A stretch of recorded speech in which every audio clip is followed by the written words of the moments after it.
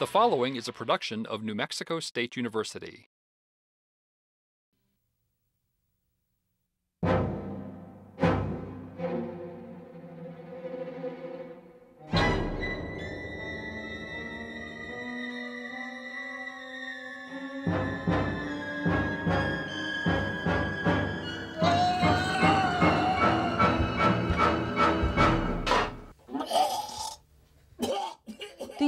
It could be something he ate? Hi, I'm Suzy LaSana. I'm an FBI. That's foodborne illness investigator.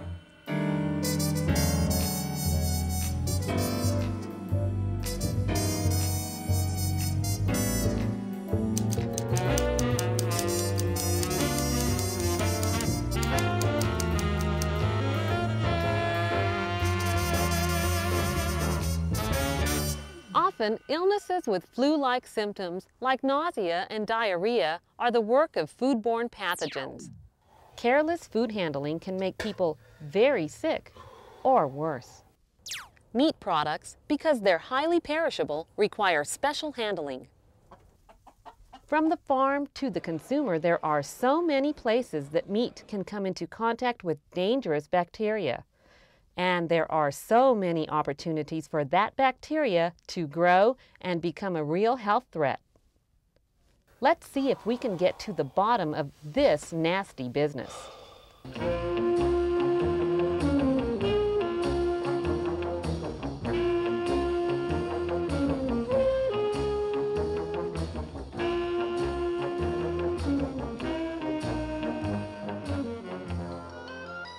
It looks like our victim ate prepackaged chicken enchiladas for dinner. Is there any way they could have caused that midnight attack? Prepackaged foods are prepared in USDA inspected kitchens that are required to have food safety plans called HACCP plans. Every step of the process, from cooking and cooling to packaging and storing, must follow seven HACCP food safety principles. First, at any point where food might possibly become contaminated, food handlers take special precautions to make sure that it remains clean and safe. These include heating food long enough and at temperatures hot enough to kill any harmful microbes. For example, when cooking ground or shredded chicken for fillings or casseroles, the temperature must reach 165 degrees. In USDA regulated facilities, like this one, the food preparation process is constantly monitored. If something goes wrong, corrective action is taken immediately to fix it. Monitoring equipment, like thermometers, timers, or pH meters, are checked regularly to make sure that they are working properly. And finally, employees keep records to document that all safety procedures were followed. In addition, sanitation is extremely important. Food handlers carefully follow sanitation standard operating procedures like washing hands and sanitizing countertops. Chicken is particularly susceptible to salmonella contamination that can spread to other foods. So food handlers must take special care to use separate cutting surfaces for chicken and vegetables, to use separate utensils and brushes, and to carefully sanitize work surfaces with a bleach solution. The surface is allowed to air dry to ensure the sanitizer has dissipated before more food is prepared on that surface. Remember, in the food business, health is wealth. Paying attention to food safety is just good business. I don't see any clues here. Let's take a look at what happened to the enchiladas between the processor and our consumer.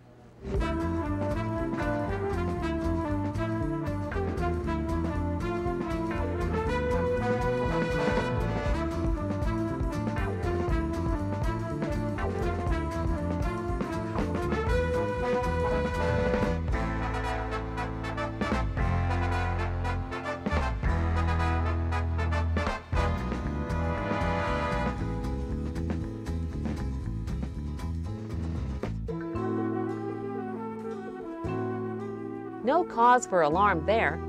The enchiladas were kept frozen until they were needed. They were heated properly and the kitchen staff wore hairnets.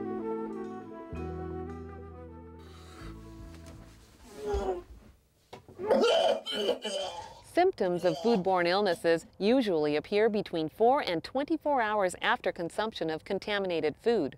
Most victims recover. However, an estimated 5,000 deaths each year are attributed to foodborne pathogens.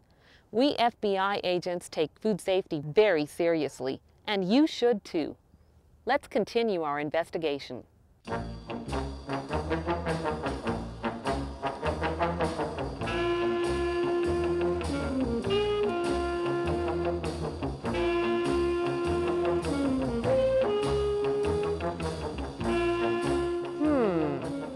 Buffet foods can easily cause problems because of the need to keep them at safe temperatures for long periods of time.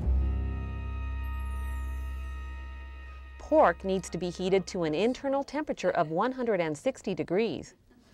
These pork tamales are being kept on a steam table at at least 160 degrees, so they remain too hot for foodborne pathogens to grow. No problem there. Let's take a look in the caterer's kitchen all of the equipment is cleaned properly. This kitchen worker is being very careful. The work surface gets sanitized first. The cooks here are wearing hairnets, clean smocks, and are wearing gloves to prevent contamination. Well, this most likely is not the source of food contamination that we're looking for. Authorities believe that many foodborne illnesses go unreported. People often think they have the flu because sometimes symptoms of foodborne illness don't show up until a week or more after they've eaten contaminated food. That makes it hard to pinpoint the cause of the illness. Let's see if we can get to the bottom of this midnight madness.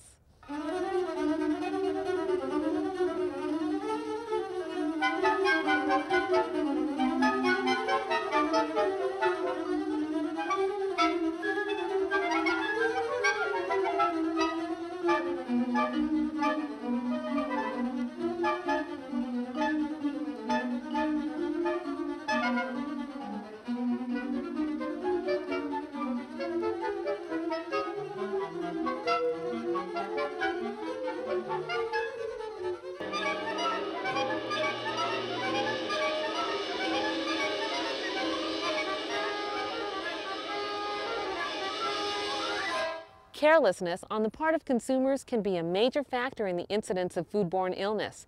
You can't control what happens to food after it leaves your business. But as a food vendor, it's good business to make sure that your products are safe and that you've done everything possible to keep your customers happy and healthy.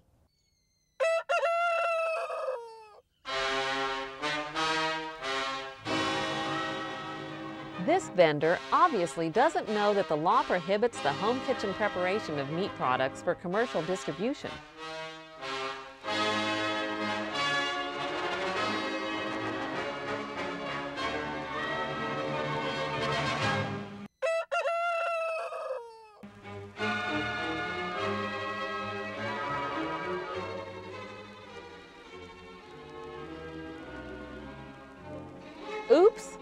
He carefully cleaned his countertop, but recontaminated it with eggs that haven't been washed. Remember that chickens and eggs are frequent hosts of salmonella. It's very easy to transfer these dangerous organisms to clean countertops and then to food.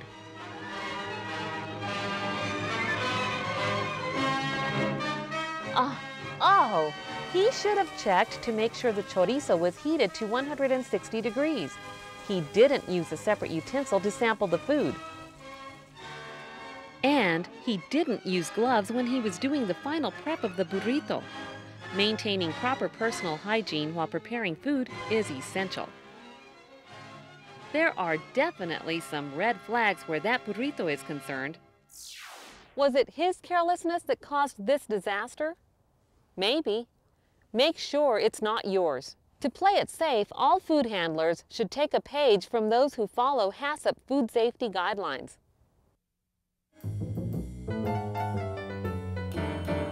Analyze your food handling operation and identify all of the places where food might possibly become contaminated. Identify ways to ensure your product's safety at each of those points. These include cooking food long enough and at temperatures hot enough to kill harmful microbes. Decide how you will monitor your operation to ensure that the safety measures are followed. Know what you will do if one of your safety measures is not met. Check to make sure that your monitoring equipment is working properly. Keep records of your monitoring and any corrective actions taken. And be sure that you and your employees always observe basic sanitation practices. Wash your hands frequently for at least 20 seconds. Keep work surfaces clean and sanitized. Use disposable towels and gloves to reduce the risk of cross-contamination. Don't be responsible for a scene like this. Your customer's health is in your hands. Remember, bad memories make for bad business. By following food safety guidelines, you'll be keeping your business healthy too.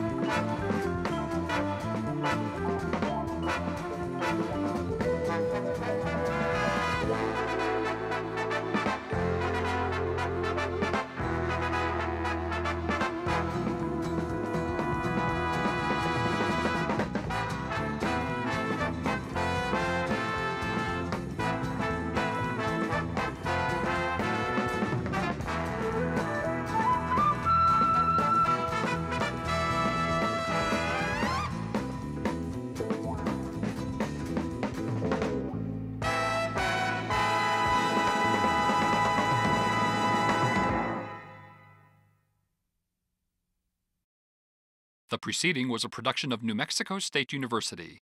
The views and opinions in this program are those of the author and do not necessarily represent the views and opinions of the NMSU Board of Regents.